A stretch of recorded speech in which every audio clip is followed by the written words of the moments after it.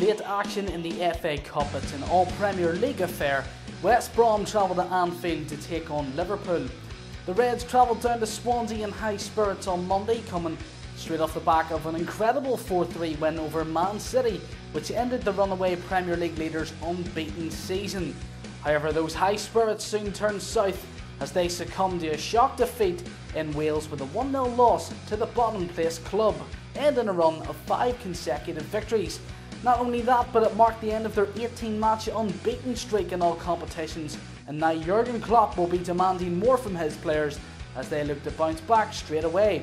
The inclusion of January signing Virgil van Dijk couldn't stop Liverpool from losing, and if you believe Klopp, he'll be the last addition to the squad in this transfer window. Liverpool haven't lost at home all season either, so a win for the visiting Baggies certainly looks unlikely. They'll be harbouring a small amount of hope after their recent resurgence though. West Brom are unbeaten in three games and now ending a 21 match winless streak in all competitions, although two of their last five victories this season have come against lower league opposition. Last weekend they played out a draw with Everton, a result which was overshadowed by a horrendous injury to James McCarthy. This followed on from victories against Exeter and Brighton, but none of the teams West Brom have beaten this season are really up to the standards of Liverpool.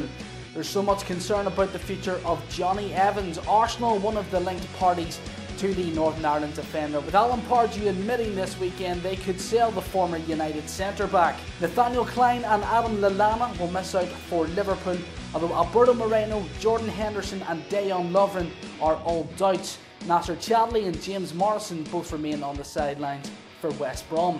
Here at Sean Graham, our double the odds first goal scorer offer will apply to the match at Anfield. So if your selection does score the first goal and then scores again in 90 minutes, we'll pay double the odds.